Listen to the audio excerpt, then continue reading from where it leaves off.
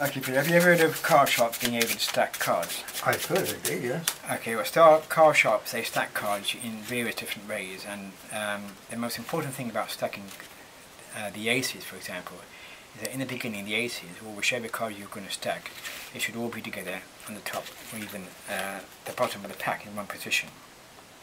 So, let's imagine I'm going to stack the aces using what is known as the overhand shuffle.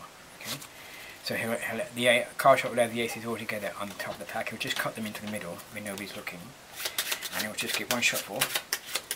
And with just one shuffle and a tap on the table, he'll deal and get himself an ace. Now just remember, just now the aces were all together on the top. You can just one shuffle. He manages to get those four cards of four aces. And that is called the, the over the hand stacking, overhand stacking method. Mm -hmm.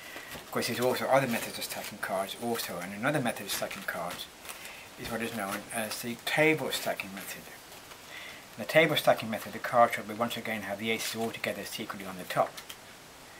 And again, it'll just give one shuffle. Now, normally when it does this, you won't even look at the cards, but sometimes because there's so many cards involved, you might just have a quick peek. Just have a quick peek, and now that he knows roughly where the aces are, and he's stacked them, he'll deal one, two, three, four, gets himself an ace. Remember just now the aces they were all together on the top.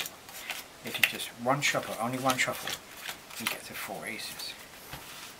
Of course the card sharp is very crafty. Not only uh, is he able to give himself the aces, but he will also know that his player over here has got seven of hearts, he's ten of clubs. he's, also got the three of hearts and the nine of clubs as well. and he'll also know that his player over here has got four jacks, he's got four kings, four queens and the four kings.